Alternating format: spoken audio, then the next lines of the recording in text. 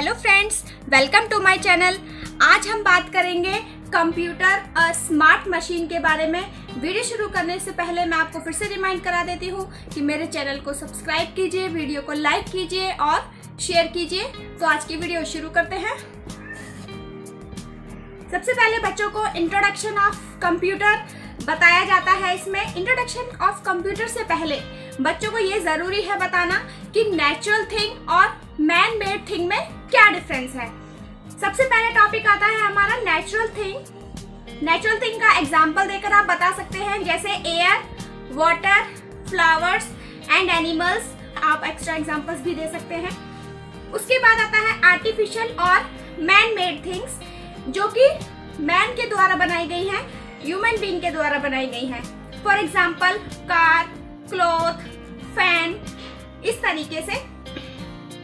उसके बाद बच्चों को एग्ज़ाम्पल दें मशीन का।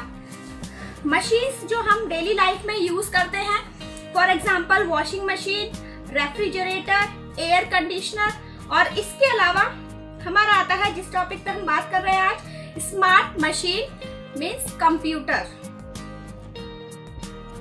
अब बात आती है कि मशीन के फीचर्स क्या होते हैं। हम मशीन क्यों यूज़ करते हैं? तो सबसे पहले आता है it needs our instruction to do a work जब भी हम मशीन को यूज़ करेंगे, उसको इंस्ट्रक्शन की ज़रूरत होती है मीन्स जैसे मुझे रेफ्रिजरेटर यूज़ करना है तो मुझे क्या करना पड़ेगा? उसका स्विच ऑन करना पड़ेगा अदरवाइज़ वो काम नहीं करेगा। इसके अलावा मशीन में, जैसे वॉशिंग मशीन है, उसमें भी अगर हम स्विच ऑन कर रहे हैं और उसके स्विच को मूव करते हैं वॉशिंग के लिए तो वो मूव करेगा वॉशिंग के लिए अदरवाइज़ वो नहीं काम करेगा। इसके अलावा कंप्यूटर कंप्यूटर भी एक मशीन है, उसमें इंस्ट्रक्शंस दी जाती हैं कीबोर्ड के द्वारा इंस्ट्रक्शंस दी जाती हैं, तभी यूज़र उसको गेट कर पाता है, जो भी हम इनपुट दे रहे हैं, उसका आउटपुट तो इस तरीके से आप बच्चों को एग्ज़ाम्पल दे देकर समझा सकते हैं कि इंस्ट्रक्शन का मतलब क्या होता है। उसके बाद आता है it does not get tired machine कभी भी थकती नहीं है। It makes our work easy और हमारे काम को आसान बनाती है। It can work very fast और इसके अलावा काम बहुत तेज़ी से करती है।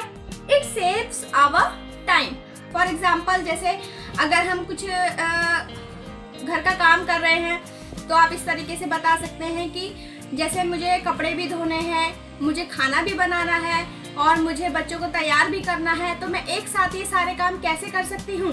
तो उसके लिए हम अलग अलग मशीन्स का यूज़ करते हैं। कपड़े हमारे वॉशिंग मशीन में चल रहे हैं उनकी अलग धुलाई चल रही है, हम खाना बना रहे हैं किचन में तो वो गैस अपना अलग काम कर रही है और बच्चों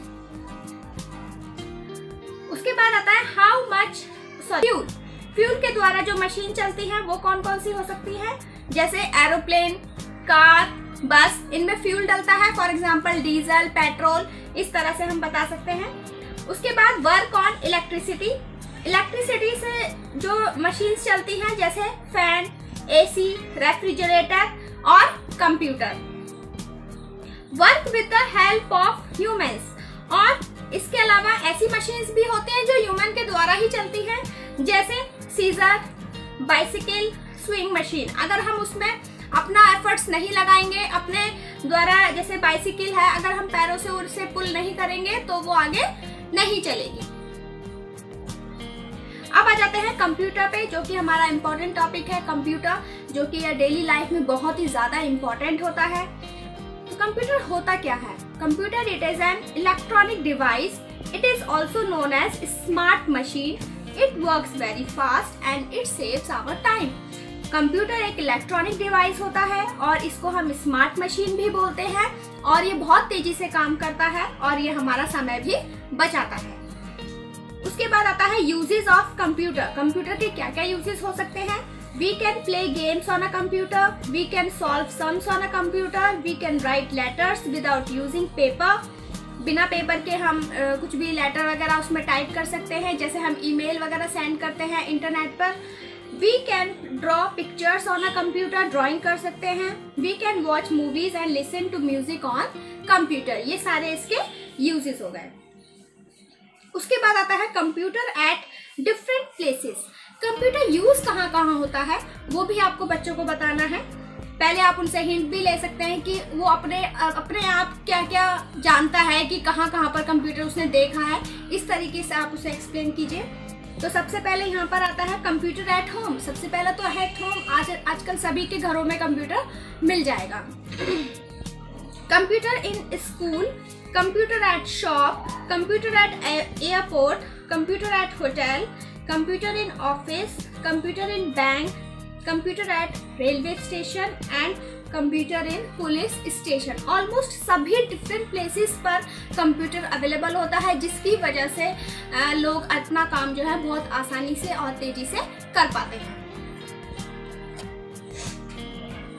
बच्चों को इसी कंप्यूटर से रिलेटेड चैप्टर से रिलेटेड हार्डवर्ड सिखाएँ।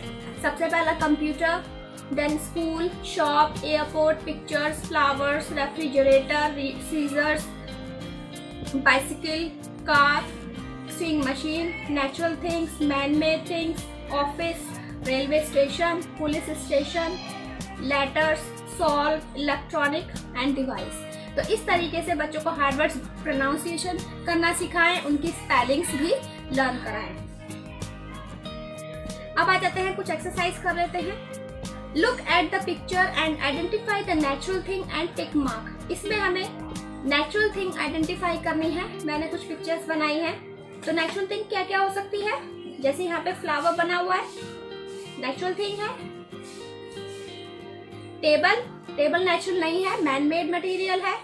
उसके बाद tree natural ball man made है। सन नेचुरल और मोबाइल भी मैन मेड है। नेक्स्ट आता है आंसर द फॉलोइंग क्वेश्चंस यहाँ पे कुछ क्वेश्चंस लिखे हुए हैं। इनके आंसर्स हमें करने हैं। फ़र्स्ट आता है इसमें राइट टू नेचुरल थिंग्स तो नेचुरल थिंग्स क्या क्या हो सकती हैं? अभी हमने डिस्कस किया था, जैसे सन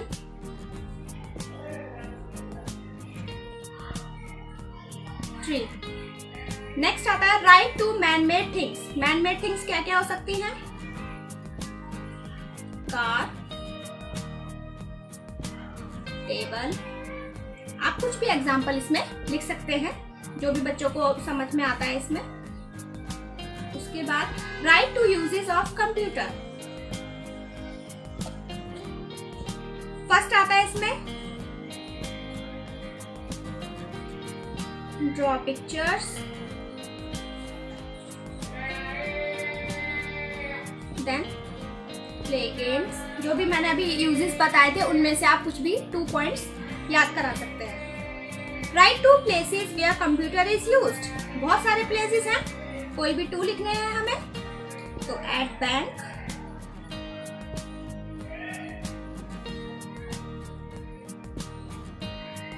इन स्कूल तो इस तरीके से बच्चों को इसके क्वेश्चन आंसर्स की प्रैक्टिस करा सकते हैं आप. कंप्यूटर में जितने भी टर्म्स आए हैं, वो सब आप लर्न कराइए. अगर आपको मेरी वीडियो अच्छी लगती है तो चैनल को सब्सक्राइब कीजिए, वीडियो को लाइक कीजिए और शेयर कीजिए। मिलते हैं अगले वीडियो में।